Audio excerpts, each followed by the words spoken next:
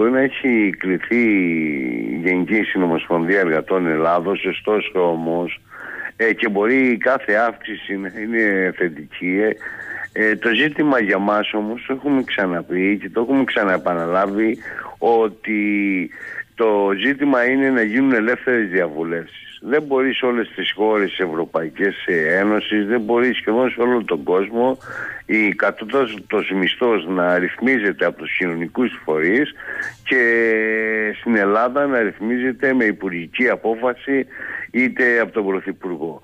Ε, τον ίδιο. Ε, αυτό έχει να κάνει σχέση με την ίδια τη δημοκρατία. Θα πρέπει και οι εργαζόμενοι να έχουν άποψη αν μπορούν να ζήσουν με αυτό το κατώτατο αλλά και οι εργοδότες αν μπορούν να δώσουν αυτά τα χρήματα. Άρα πρέπει να, να απορρέει από μια συμφωνία των κοινωνικών εταίρων και όχι με απόφαση του εκάστοτε υπουργού ή πρωθυπουργού. από εκεί και πέρα τώρα οι ανάγκες ε, ε, σε σχέση που υπάρχουν ε, αυτή την περίοδο με την ακρίβεια, με την ενεργειακή κρίση είναι τεράστια για τα νοικοκυριά. Ήδη μια μελέτη της Eurostat έδειξε ότι είμαστε στις τρεις χαμηλότερες χώρες της Ευρωπαϊκής Ένωσης όσον αφορά την αγοραστική δύναμη. Η ακρίβεια τρέχει, τα νίκια ανεβαίνουν, τα, προ... μα τα προϊόντα το, μα, μα, μα πείτε το όλο, μετά τη Βουλγαρία και τη Ρουμανία έτσι.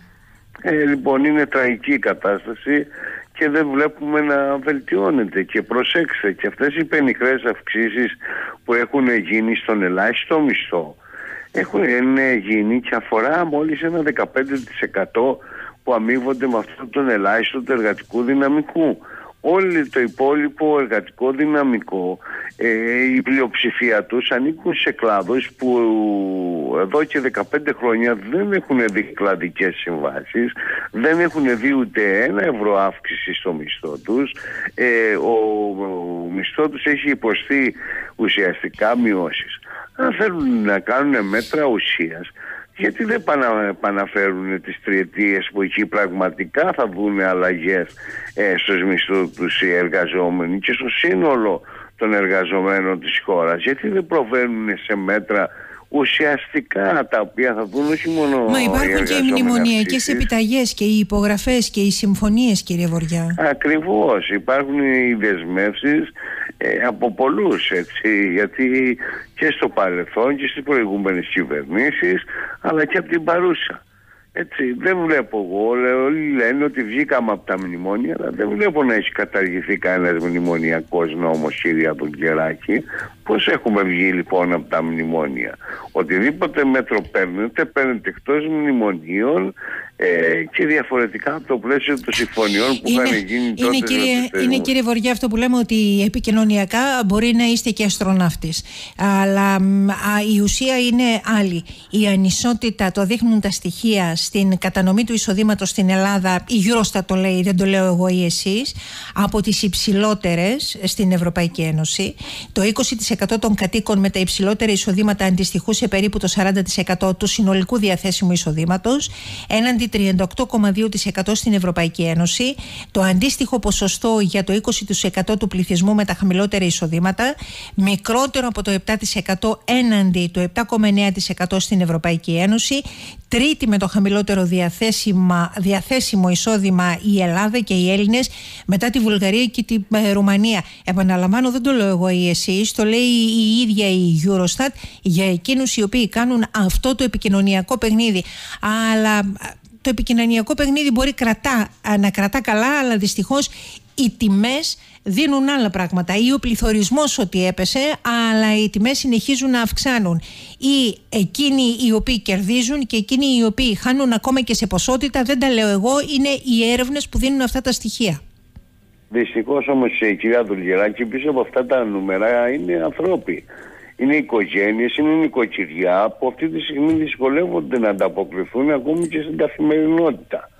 Υπήρξαν χώρες που πήραν άμεσα μέτρα, θα σας τονίσω είτε η Κύπρος με τα καύσιμα, είτε τώρα η Ισπανία με το μηδενισμό του ΦΠΑ σε προϊόντα πρώτη ανάγκη για να αντιμετωπίσουν την ακρίβεια.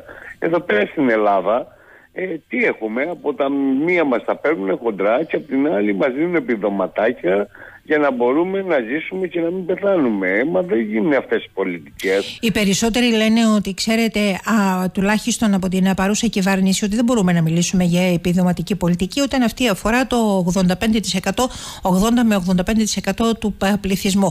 Άρα αυτό κάτι μπορεί να δείχνει κύριε Βοριά. Ε, εγώ βλέπω την καθημερινότητα, την καθημερινότητα τη σκληρή που ζούμε στο εργατικό κέντρο κυρία Δουλγεράκη όπου μας έρχονται ανθρώποι που πραγματικά δυσκολεύονται, επαναλαμβάνω, ακόμη και για την καθημερινότητα.